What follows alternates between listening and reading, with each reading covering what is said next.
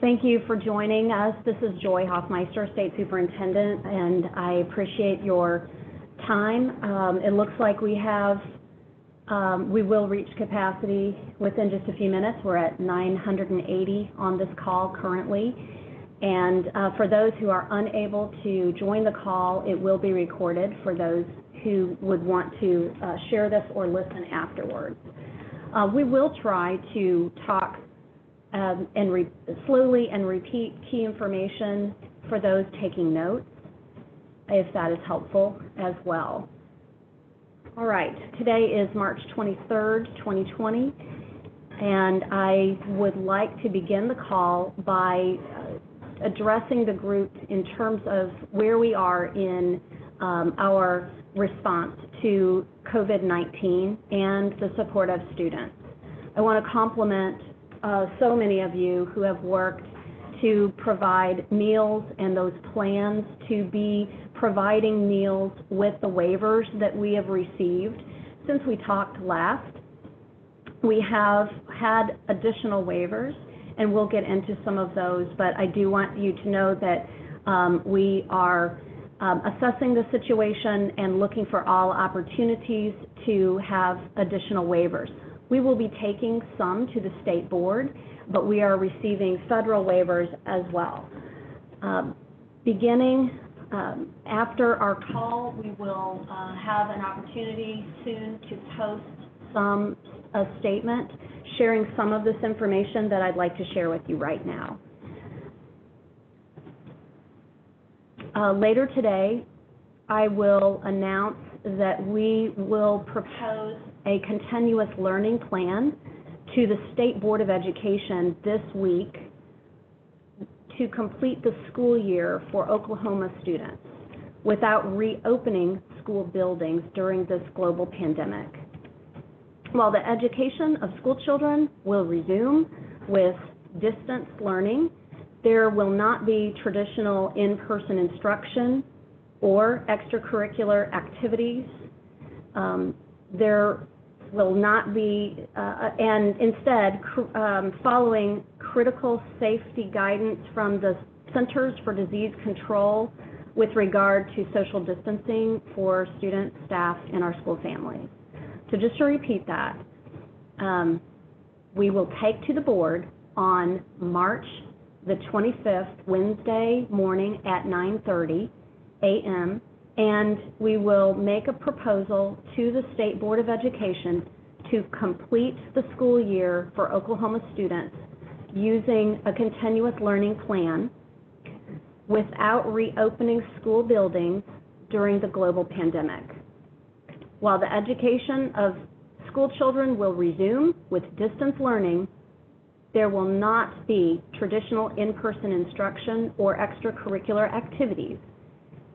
Instead, following critical safety guidance from the CDC, with re- we will we will uh, observe those uh, efforts for social distancing and sheltering at home uh, where that is advised.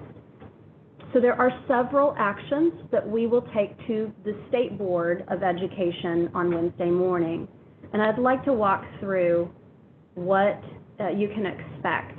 First of all, it's important to know that the board meeting will be live streamed on the State Department of Education's Facebook page at facebook.com forward slash OKLA SDE. Among the items that the board will address are the following. Now through April 6th, there is a dedicated window to prepare for phase two. We will clarify what is allowable between the time of the board meeting on Wednesday and April 5th. The board will vote and consider action on keeping buildings closed through the end of the school year, with instruction beginning again on April 6th. Districts will be directed to make every effort to provide alternative or distance learning opportunities during this time, while taking into account the needs and resources with their local communities. The OSDE has established a distance learning team that is developing resources to assist districts, including a framework to set expectations. Awarding of credits is a local determination. We encourage local education agencies to use this flexibility so that students in the graduating class of 2020 or earlier who were on track to graduate before the gubernatorial declaration of emergency and any subsequent amendments to that proclamation are not negatively impacted by measures taken by the local education agency in response to the, no, to the novel coronavirus.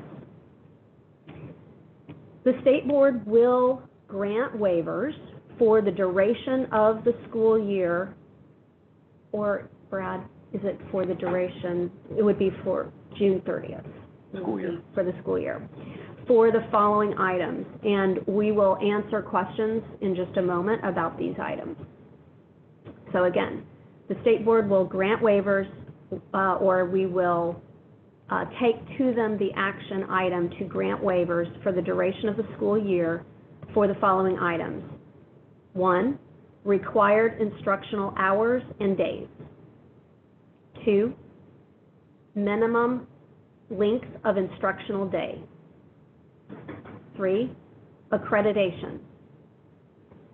Four, restrictions on funds, i.e. textbooks. Um, RSA. Six, physical education requirements. Seven, school board member continuing education. Eight, ADA March 1 date as a cutoff point that would span from the beginning of the year till March 1, 2020 for those calculations. And 10 is TLE requirements. We do have some new information to share, which will be included in updated FAQs also later today. Uh, the first topic here is about U.S. history tests. The State Department of Education will take an emergency rule to the State Board of Education on this March 25th board meeting this week to allow OSDE to provide a medical exemption for state assessments for all students. As a result, pending board action, students scheduled to take the U.S. history assessment this year will be granted a medical exemption due to the coronavirus pandemic. If by chance anyone on the call, which my goodness, we're way over the limit, I thought it could only have a thousand, but it has one thousand nine, uh.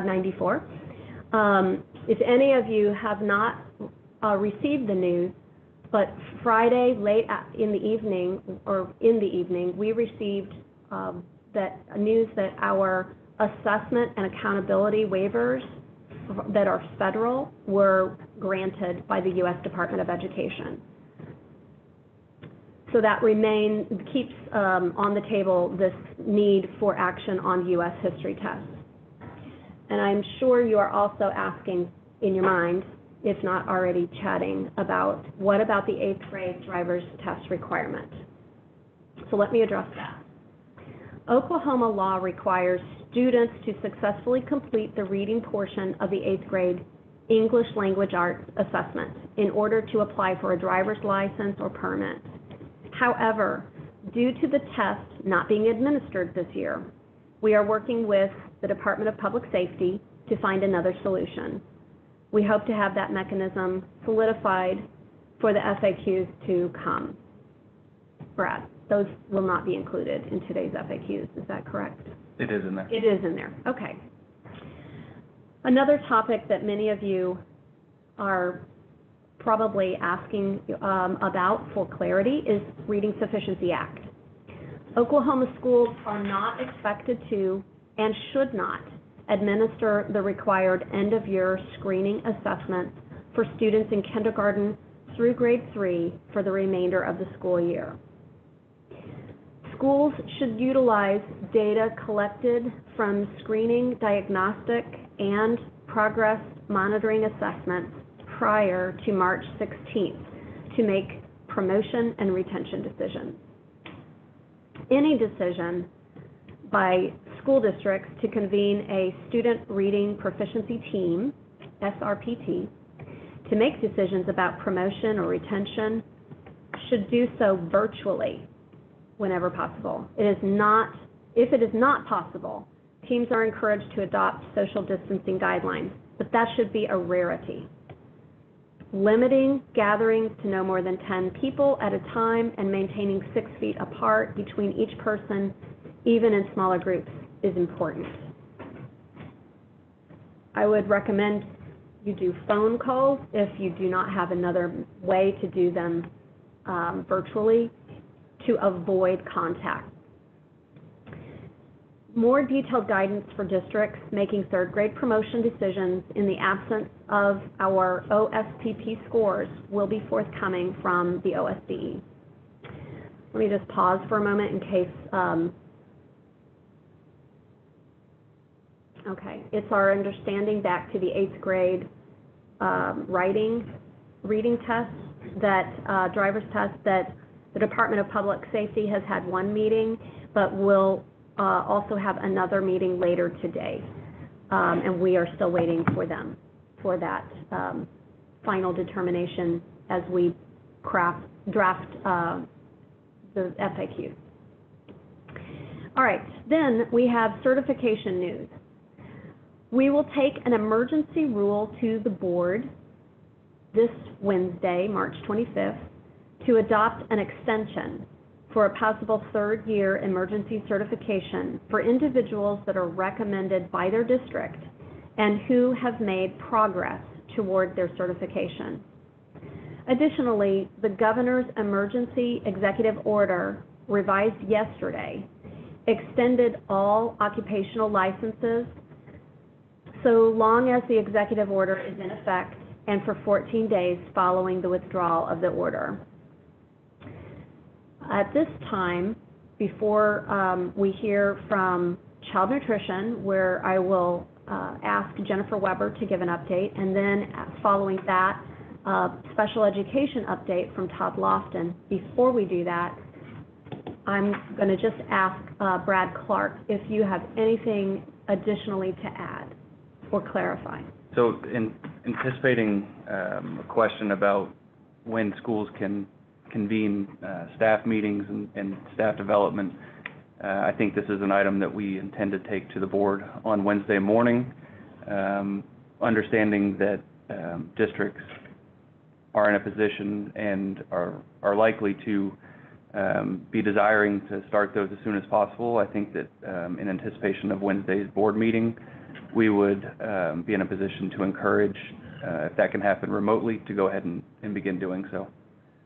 Um, The second point that I would just uh, bring up is in exchange for the waivers, uh, the list that we've been discussing uh, this mor, or this afternoon, excuse me, um, I believe that we are looking at a simple um, yet necessary set of assurances that districts would be required to provide the State Department of Education in exchange for receiving those flexibilities and waivers. Again, it will be um, targeted and expedited in review. Um, I do not see this as being more than um, two to three pages, uh, just to give you an idea, but we are are building that out right now. Uh, just wanted to bring that to attention. All right, at this time, also then, let's move back to the prepared remarks that we wanted to ensure you had today. Um, Is Jennifer Weber available?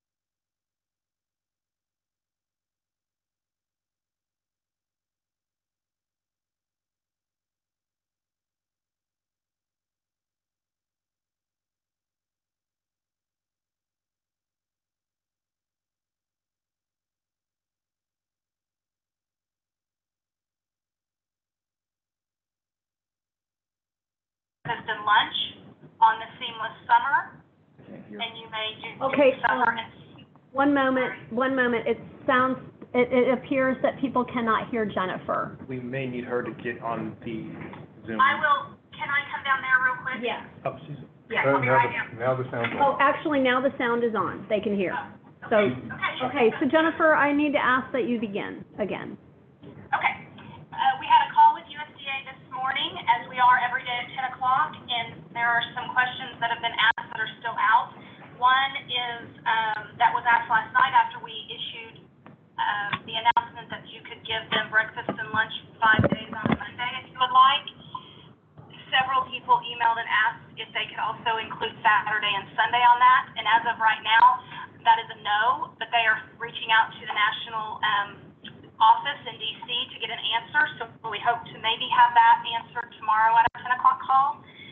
Several of you have also asked over the last week or so if you are already approved for the at-risk after-school program. Many of you know that as the third meal, or refer to it as the third meal. Asked if you could do supper and a snack on that program. If you're already approved, um, you may start doing a supper and a snack on the at-risk program. You'll claim your breakfast and lunch on the Seamless Summer program, and you, which is part of the National School Lunch Program, and you'll claim your supper and snack on the, um, Child and Adult Care Food Program that we refer to as CACFP. Um, you'll claim those on that, uh, program, and we can give f- further guidance down the road on that a little bit. That was, uh, answered this morning. Um, we've also still do not have an answer uh, from USDA as to whether the children have to be uh, in the car or a parent can just come and get the meals. I apologize.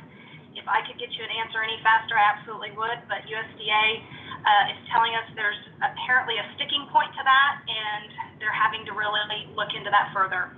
I, I don't, that's all I can say there. Um, I'm flipping through my notes, I apologize.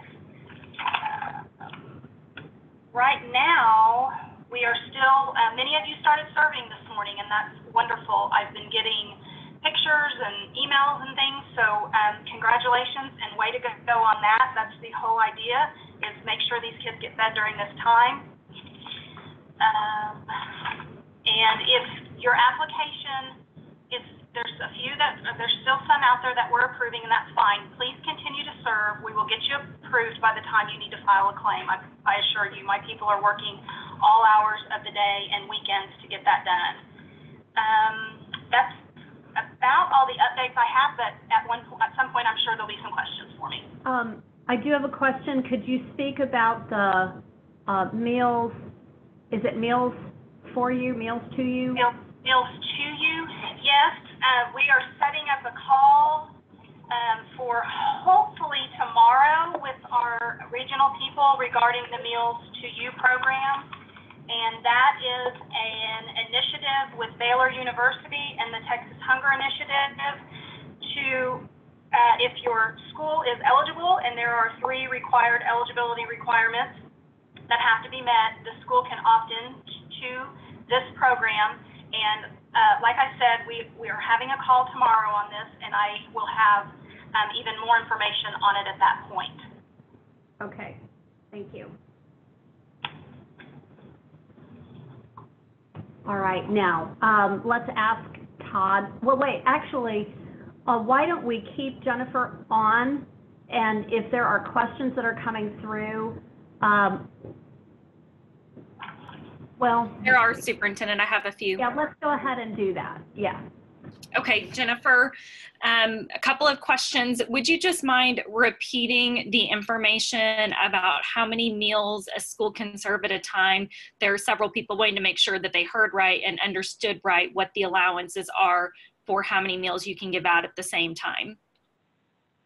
Okay?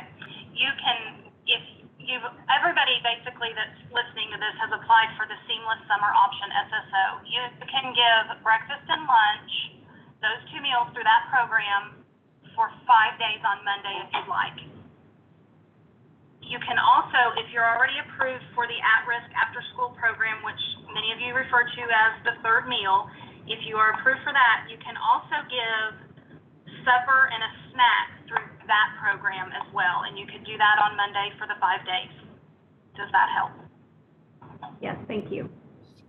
And could you also repeat the information about the 50% and, um, and the status of the 50% waiver? We still have a waiver uh, that was sent to USDA regarding the 50% requirement, the site having to be 50% free and reduced. I do not have an approval on that, and as far as I know, it's been sent up the chain of command that it has to go to for USDA. I assure you, we are not the only state awaiting approval on that. Many of the states, if not all of them, have requested that. Also, uh, Jennifer, is, do I understand that with the meals to you, that is, that can be mailed? Yes, those are meals, yes, yes, those are meals that are mailed. It's five days worth of meals, breakfast and lunch, um, and, and they are mailed to the families directly. We have, the school opts in because we have, for confidentiality and, and address purposes, we have to go through the school to get all of that. There's an application process. It is not lengthy at all for the school to do. Um, and then based on what they submit and the eligibility requirements, um, at that point, we would um, kick in with the pro, the program would kick in. I, I, I don't have all the information, so I'm trying to get as much as I can at this point, and to where the meals could be sent to the home for the children. Okay, so my, my question is, if I understood earlier, that there is, that, that the family has to actually apply for that? Do I understand that right? Or just the the school? The school district applies on behalf of their children, but there is an application pro, a small, a short application process the families have to do as well. And could that be extended to a district that is, that does not meet the fifty percent threshold currently, but they have children that qualify for free, free or reduced price lunch? The information that I currently have is that the school requ- eligibility requirements are that the school has to announce a close for at least four weeks. They have to be area eligible based on the summer feeding program, which is fifty percent free and reduced, or there's some census data that we're allowed to use, and they have to be designated as rural. Now, as of right now, those are the three requirements. I have not heard that that has changed, All right, but again, we, we are having a call tomorrow. all right. All right, then we have questions um, that I'm sure you will have as well um, on special education. But before we go to that, are there other questions we need to ask Jennifer? I have a couple more, Superintendent. Um, there's questions about if you're going to serve multiple meals at a time, can it be on a date other than Monday? Could they do multiple meals if they gave it on Tuesday or Wednesday? Is there any impact there? Uh, that was asked this morning on our call, and USDA is defining, um, right, a week or five days right now is, um, five school days. That's why we're having to get clarification on the Saturday and Sunday. So, um, if they're, if they give them on Tuesday, they can only go Tuesday through Friday. And ensuring, keep in mind, we have to ensure that food safety is met at all times. And, and if there's instructions that need to go out as far as make sure you go home and refrigerate your milk, please let them know that as well.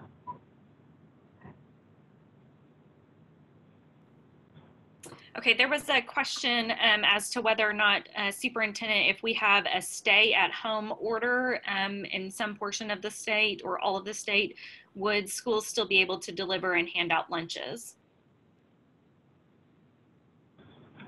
Yes. Yeah, I- I Brad think, will take that. I- that's a good question, number one. Um, I think it's going to depend, um, we've seen states who have already issued these stay-at-home orders. Um, They vary in what, what is allowable and what is deemed essential. But that is something that, we've been in conversation uh, about and are prepared for that. Uh, So that's the best I can answer that right now, but good question. We would do everything within our power to keep meals going, but if a community is ordered to be at home, uh, there could be other provisions perhaps sent in. but we'll, we'll work on that. Okay, uh, one, uh, two more, I guess, um, for Jennifer. Um, can a non-title site be used as a serving location? In regards to non-title, meaning a site that doesn't meet the fifty percent? Is that, I'm guessing, I don't know, that was the exact wording of the question. and can you say it one more time? I'm sorry, Carolyn. Can a non-title site be used as a serving location? I'm not sure what a title site would be, but as of right now, the requirement is that a site, in order to serve, must be fifty percent free and reduced. Okay, um, we'll move on to a different question. I've gotten a couple of comments about milk and schools not being able to get milk. Um, something from Hiland Dairy who said that they would not be able to deliver milk, and how does that impact what schools are able to serve? Yes, I, brought that call up because that was emailed directly to me this morning by a superintendent, and I was not aware of that, but he did inform me that his Hiland representative informed him that they are only producing gallons of milk right now and not cartons. I have, for the state, for us, issued a meal pattern and flexibility waiver, and that was done over a week ago, and I have not received approval on that. They are well aware that nationwide, there are milk for our child care centers only being limited on the number of gallons. Um, none of those meal pattern flexibility waivers have been approved. Um,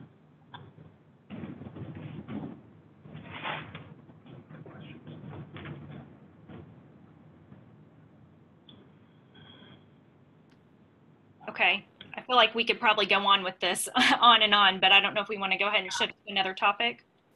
I think we should, and we'll have more information every day. So we will be able to use these questions to help inform what we bring to USDA. Thank you. And now, uh, let's get a update from our, um, uh, Todd Loftin with education, uh, special education. Hi, hopefully everybody can hear me. Okay, so uh, for special, for special education, I just want to reiterate three big ideas uh, that have been said before, but safety. And based on that, we're trying to provide education to the most appropriate extent possible. And we simply want districts to do the best that they can. So our office is working on guidance and we'll be publishing it soon on distance learning for special education. Uh, that will include things like related services, AT, assistive technology, secondary transition services, uh, behavior management, instruction, lots of online resources specific to special education. Then early childhood, we'll be sending some information out about how to hold a virtual IEP meeting. Um, so all of those things will be going out and I'm sure will be updated on a continuous basis. We will also know more about um, special ed finance, uh, in particular maintenance of effort, time and effort, excess cost, carryover, all of those things after a call tomorrow with the Center for IDEA Fiscal Reporting. The a few other things, uh, dispute resolution compliance. You know, we're working with our National Dispute Resolution Center on processes and timelines, things like that for dispute resolution. OSEP just released Saturday night supplemental guidance to their previous guidance on educating students with uh, students in special education during the uh, coronavirus, and and we'll uh, we'll be posting that to our website as well. And then we will be issuing more guidance on data and reporting. And some of you have already been contacted about any monitoring activities that we've been engaged with you during the spring, and we'll we'll be following up on those.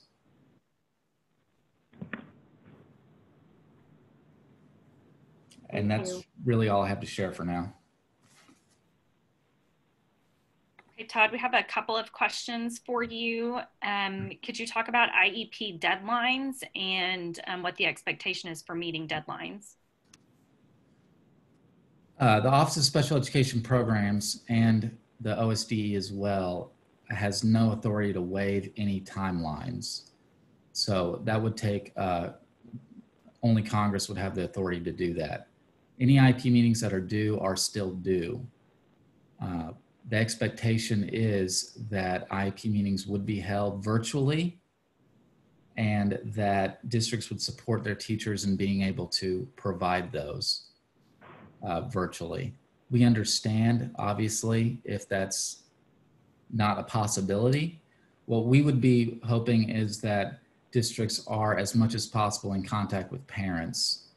And um, so that, that expectation still exists. And that's been in all of our guidance so far, which is why we'll be uh, sending out some information on exactly how to do a virtual meeting. And then uh, there's there's several things online just on EdPlan. There's the ability to do digital signatures. Uh, there's the ability to share documents um, on, on various platforms. So we'll be providing that information to help give teachers a little easier time with it. On Twitter. Todd, could you clarify about OT and PT services um, and speech? What um, what is the expectation there for related services? So most of those professional organizations have issued guidance around teletherapy and uh, other ways to provide services to students, whether it's information to parents, any packets, that kind of thing. We'll be posting that information to our website also. If students miss services during the closure, districts will have to consider what, if any, compensatory services are required later.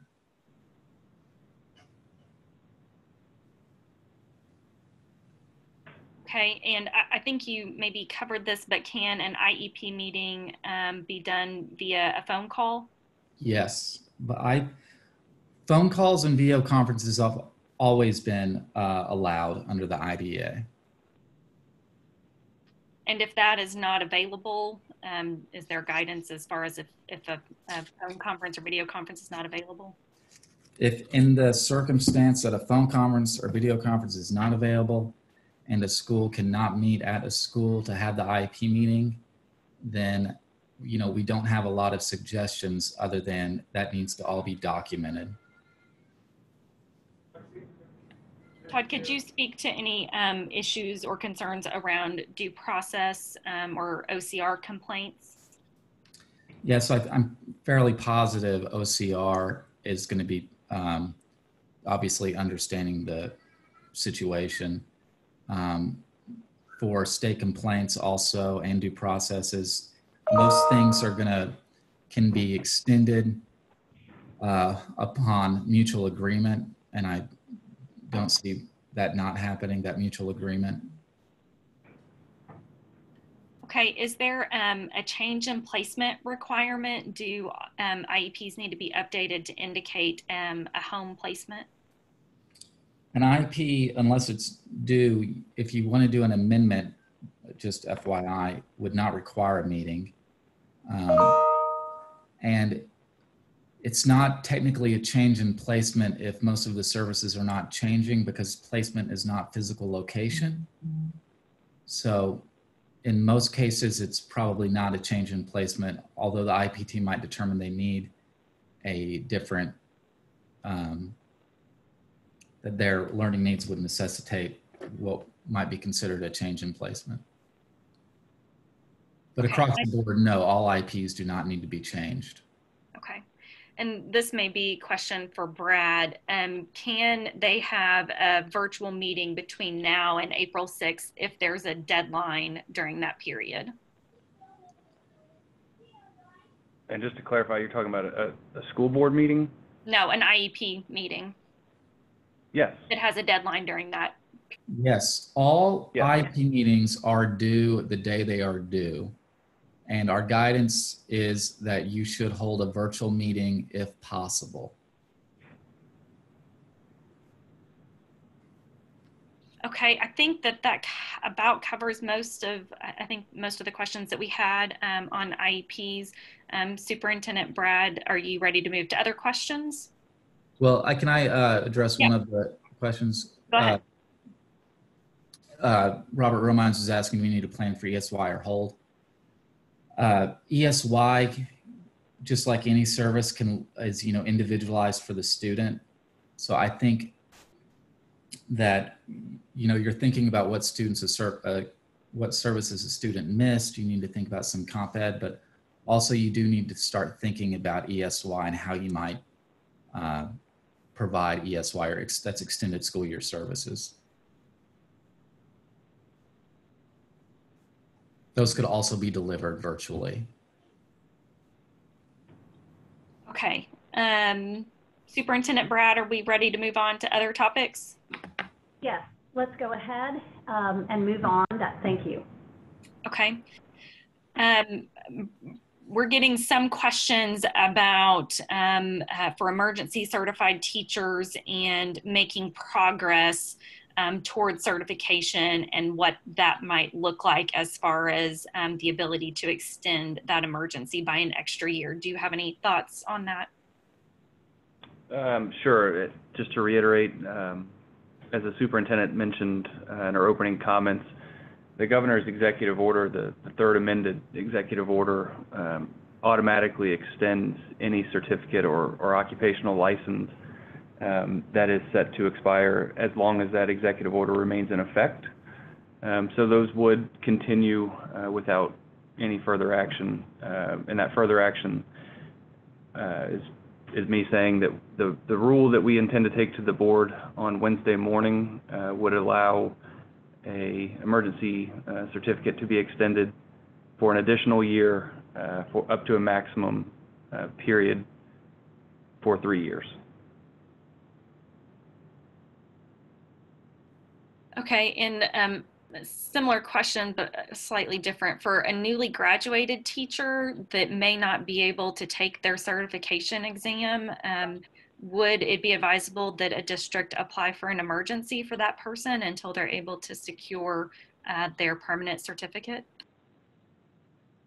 I think that's a good idea. Um, and just to show that we are continuing uh, operations as we normally would, the requests that were submitted and prepared for the, the March meeting, uh, those will, will be taken um, on Wednesday morning as well. So any district that submitted the request and um, was prepared for the March meeting, those will go ahead on Wednesday morning as well. Okay, switching gears, um, uh, Brad, could you clarify whether or not um, the CPR requirement and the personal financial literacy um, requirement will be included in what goes to the board on Wednesday? Uh, Sure. Uh, They, they will be included. um, And just to dive in a little deeper here, those are statutory requirements. And so um, the State Board of Education does not necessarily have the authority to override what is in statute. um, Although we're, we're seeking as much as possible to grant waivers from that. I would also say that um, with respect to credits awarded for courses, those are local determinations. And so we would encourage, um, as Superintendent mentioned in the opening comments, to um, not negatively impact students as a result of, of everything with COVID-19. Okay, and similarly, um, what about uh, uh, under the TLE requirements, a teacher who has not had their evaluation yet this year? Uh, That is a waiver that we are um, proposing to take to the board to waive in full for this year, uh, particularly as we move to this continuous learning um, program. Uh, It seems to me that it would not be uh, appropriate to uh, evaluate a teacher, uh, or hold them to that, if you will, based on a form of, of learning, especially during this time that we find ourselves in. So that, that is a waiver that we are taking to the board on Wednesday. And then to clarify, will schools have to apply for these waivers? Is that what you meant by uh, the mention of an assurances document? Is that essentially an application for the waivers? Could you clarify exactly what you meant by that?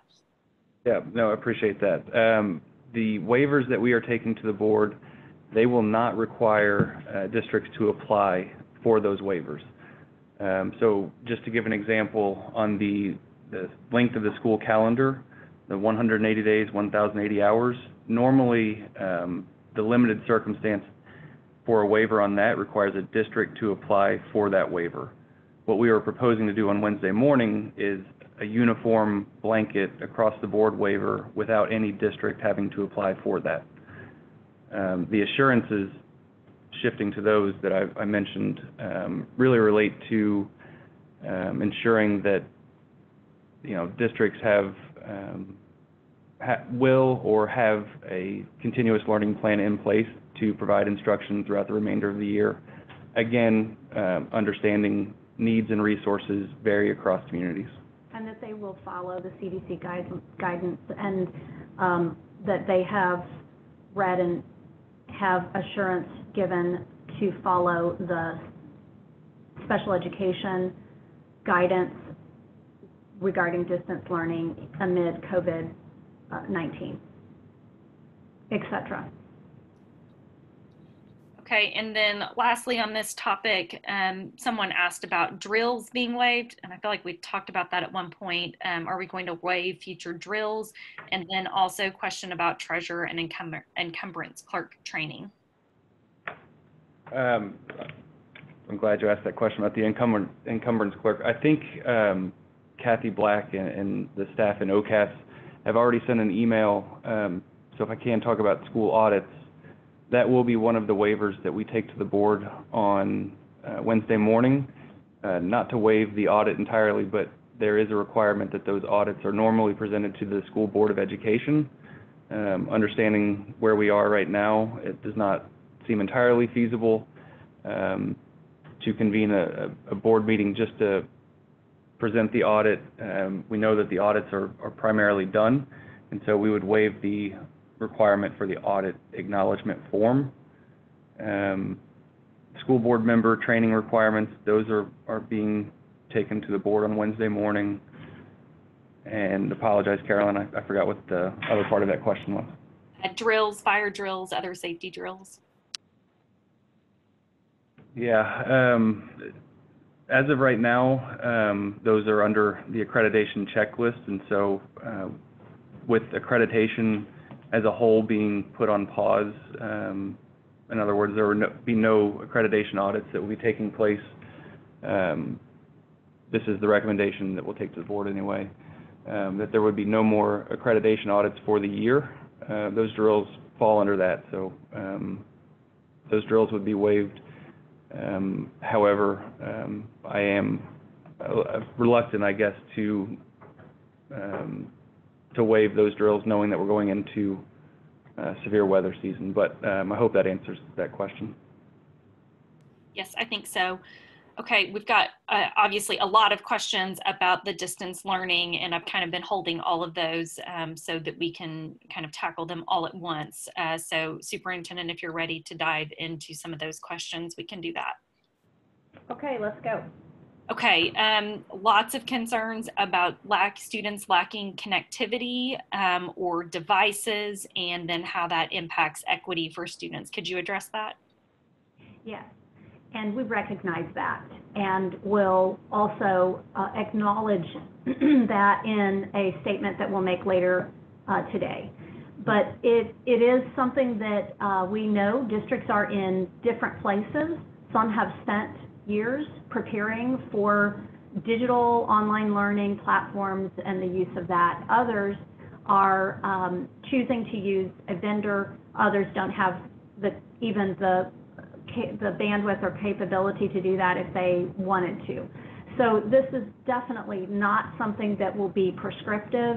Um, it is going to be um, very different in different communities. However, we are providing a framework and support grade by grade so that our uh, schools will have some um, idea of expectation. It would not be a full day of classroom uh, activities the same way we would see in a school day in a traditional model, but it is one that needs some framework um, provided.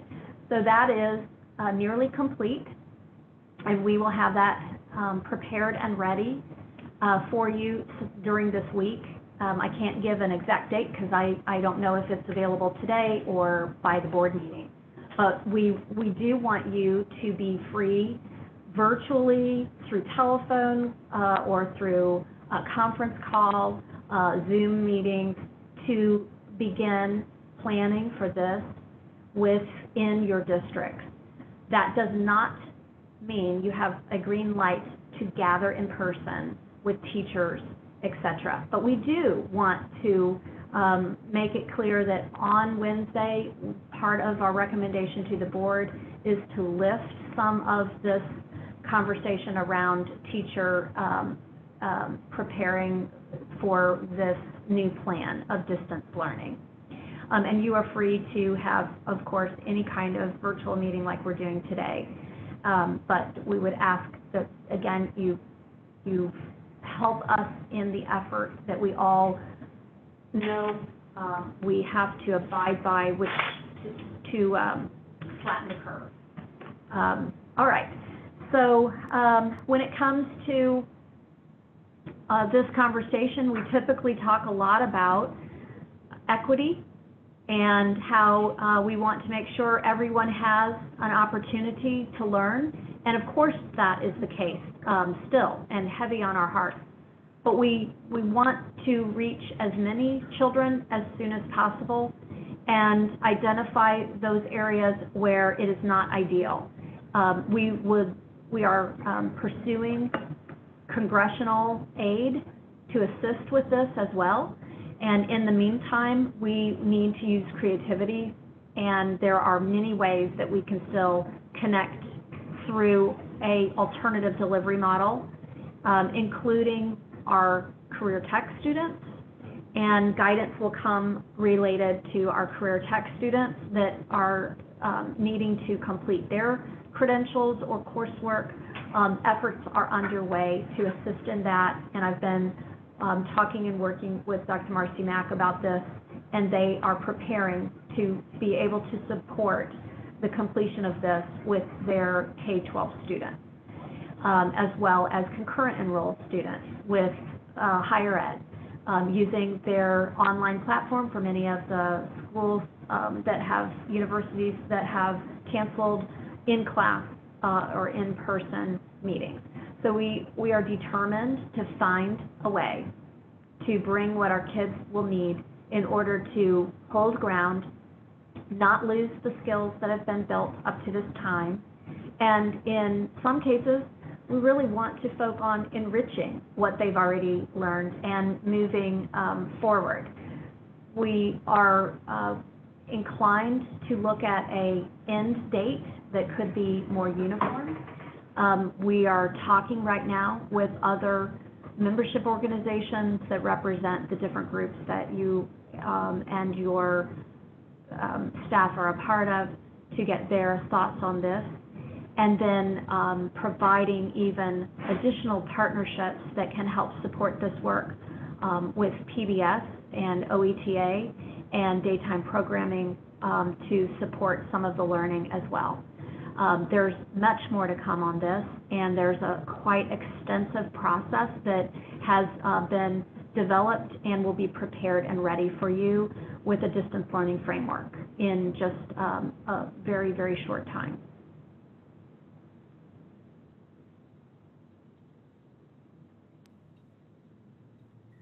Okay, uh, Superintendent, would you want to speak to any of the conversations that we've had about trying to get additional connectivity um, to families? Well, this is a, a state level um, effort, and those are conversations that we are engaged in and will continue to be engaged in. We are um, looking at a federal, potential federal relief with even mobile hotspots, um, the subscription for uh, that use of devices. Devices are free. It's the subscription that um, you pay for. Um, But we are working those details out, and that is very common and uh, with other, with other schools in other states. So this is something that we're, we're on, but I don't have a complete answer yet for you, other than we think it's important for your schools and districts to begin uh, thinking about this, as we mentioned last Friday on the call, that we wanted to give you as much uh, preparation time as possible. Okay, Superintendent, can you um, address any expectations for giving grades um, during this time? Will teachers be expected to award grades um, from now until the end of the school year or from April 6th to the end of the year? We will answer that with our, uh, we have a counselor group that is working with higher ed and um, also with various um, stakeholder leaders to think through the impact with um, scholarships, with Oklahoma Prom- Promise, um, other considerations, and uh, some of this will be included in FAQs that will be uh, coming, and uh, they are they are working with other um, guidance counselors and uh, principals that uh, work that deal with this work in in higher ed, making sure that um, we are working to support our students as they are preparing for transcripts to be ready. Um, but we don't want to make a decision today that somehow would have an um, unintended consequence related to their GPA and this this other aspect to it. So we need to hold off on a, on an answer right now. But that is coming um, very very shortly, within a matter of days. And Superintendent, maybe just a note, um, uh, an individual commented in the in the chat that I thought was helpful that Cox Communication is offering 30 days of free internet to low income families. Uh, connect to compete. Um, looks like there might be a code or that is the um, program. So something that others on the call might make note of through Cox Communications. Okay, very good. And speaking of discussion around transcripts and graduation, I think it's really important that we also bring our creative people together that can still work uh, to plan for what we know is going to be a very different kind of graduation ceremony this year due to where we are with this pandemic. Um, I've heard some really neat stories about uh, how districts are trying to accomplish that virtually, and we we will share out uh, or encourage those districts that have plans in place uh, or those that are being developed uh, to share some of what they are doing so that it can also inspire you uh, if if that's something you're grappling with right now. Um, that is like very, very, very likely to still be a consideration with CDC guidance limiting groups no larger than 10. Okay, we've had a couple of questions about the connectivity survey. Do you have a status on when um, that might be coming out?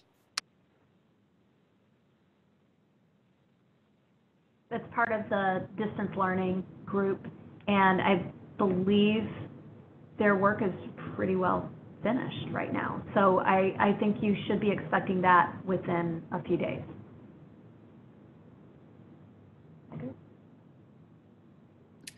Okay, um, had some questions about planning and um, virtual professional development being able to take place during the shutdown. Could you um, just address and clarify that um, as far as, as schools are trying to be sure that they're ready April 6th? Sure, Carolyn, I'll take that one. The board's order from uh, March 16th, um, in no uncertain terms, prohibited staff development, trainings, and things of that nature. Um, As I said earlier, um, part of the recommendation for board action on Wednesday morning uh, this week is to lift that portion of the order, uh, to remove that prohibition. And I think we're at a point where um, districts need as much time as, as they can have um, to utilize uh, efforts to begin these uh, continuous learning programs and plans. And so uh, it's a long way of saying I, I think we're at the point to encourage districts to begin uh, those conversations as preparations as, with one caveat, and that those uh, preparations are done virtually or remotely, not in person.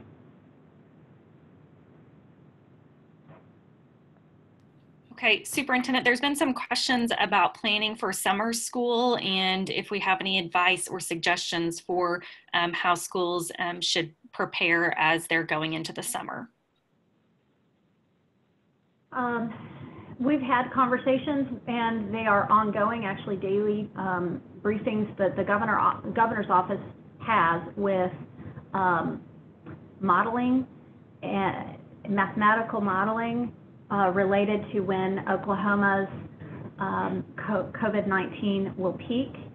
And that is something that they believe it will not peak until um, August potentially, or even as late as January. So the plans that you are making right now are plans that we understand are just a beginning response to this. And we're thinking about this as the next phase in a succession of different phases as we seek to educate our children over time and in the pandemic. Um, but I think we do need to think about the use of summer and then the fall under different arrangements that would, again, continue to reduce the spread. Um, So uh, that's about all I would be able to add at this point, since we do have still so much unknown. And, and again, I, I am sympathetic for the need to have clarity on this. Um, We are in a place right this moment where we're still in that defensive posturing for keeping our children safe and our staff and our families in the community. Um, The plans we are making right now are really, again, going on the offense and just, just trying to wrap our arms around how do we support learning for right now so that we can finish this school year and do that in a way that benefits our kids, uh, where they have structure, where they have connection with those individuals that are their safe place and remind them of the security that they had with that school engagement. Um, there will be increasing um, reports of people who are sick, who are struggling to survive. And it's going to be more increasingly important for that stability.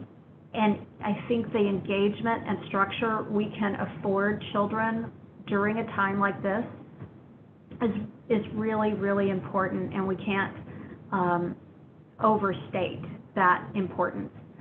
But as we think about the summer, and then we think even further ahead to a potential of a fall, that fall semester that could be impacted as well, this gives us room to gear up, to get that equipment that we know is needed, uh, and to get homes wired with internet, et cetera.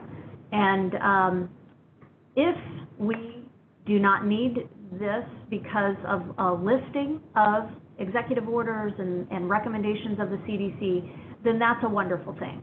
But we will have started important planning that's important for all of us uh, going forward as we know that we need um, to do um, more of the digital learning in communities to meet individual needs for kids. But I do applaud and, and am grateful for all of the leadership for those represented on the phone call that are wrestling with doing this in um, an accelerated timeframe. Okay, I've got just a couple more topics here to touch on. Um, had a few questions about how schools are expected to enroll students that are moving into uh, the district when buildings are not open. Yes, Brad, could you answer Yep, that? um, I, I think that will also be a part of the assurances, um, related to safety and health. Uh, At the same time, continuing, um, enrollment as is required in, in statute. Um, so I think that will be addressed there. Um, the other thing that I think I will point out is, um, currently, the essential services, the administrative, uh, functions certainly could include, um, individuals who, who help facilitate those enrollments. And so, um, we will address that more in, in the guidance and in the assurances, um, as, as we flesh those out. Uh, but at this time, you know, those, those can continue. Um, each local district has the ability to deem what is an essential administrative governance function, um, I think that would qualify under those. Okay, and then um, perhaps maybe the last topic um, would be um, uh, the pay of support staff, and got concerns perhaps on both sides of this about, um, you know, can support staff begin to be paid again after April 6th, or um, concerns with equity of some support staff being required to come in and work, and some support staff that are not able to, and um, uh, kind of what are our thoughts around those issues? This is, uh, this is a really important topic and one that's weighed heavy on our hearts as well as those of you on the call. Uh, we know that we need our support staff members, uh, and some of them right now as they're preparing meals and some of these other essential administrative functions. And then there are those who we will need during a time of distance learning. Uh, the, the phone, the connections, um, the phone calls, the check-ins, the, um, additional support with, with learning for some paraprofessionals as well. Um, there will be those that their, their duties may not be required um, with this different model. And um, there is a there is an inequity here to think about requiring some or many to work and others not to, but that they all are paid at, uh, at the same way. And um, so as we are, you know, originally we were asking um, the legislature to be involved. They were very interested in this. Um, that has changed because of the timing of the um, Senate being under quarantine and the ability for them to conduct business is very, very limited. And right now, the budget is the most important thing that I think they are working on. Um, the the second thing is if there would be some federal remedy that may occur. And um, that is something we're still exploring. Um, there, I don't have a an answer today, but I do have more information for you to consider. And this is just that we expect, as one can look around or watch the news and deduct, that we have a, a very, very um, serious economic condition with so many businesses stopped, so many services interrupted, and um, all while we're also in a down um, turn in the oil industry.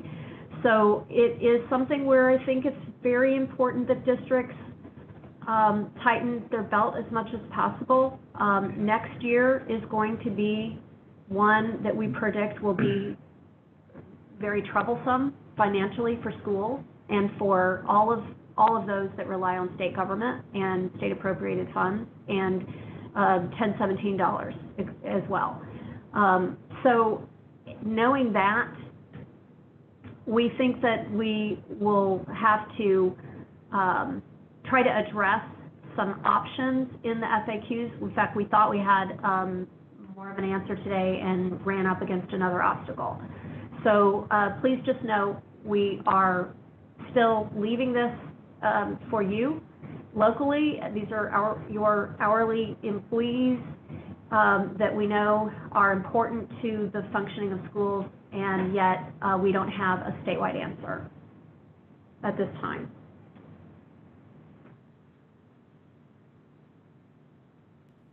Okay, Superintendent, um, uh, maybe just any final comments? I feel like um, we've addressed a large majority of the questions and maybe just for, for folks to know that we do um, get the transcript of all of the chat questions after each call, and we use that um, in trying to determine how we need to craft um, future FAQs and future items that need to be addressed. So even if we didn't address your question in specific, we do read through those and try to um, figure out what else we need to uh, to address. So Superintendent, any last comments or from anybody else?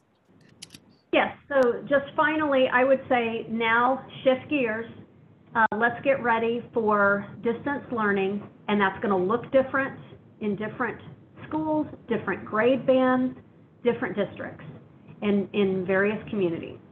Um, we can do that work not in person, but through social media, you know, however you want to do that, or, or with your, um, not meaning broadcasting necessarily, I just mean with teachers, um, and virtually in whatever platform or telephone, um, accommodations they have.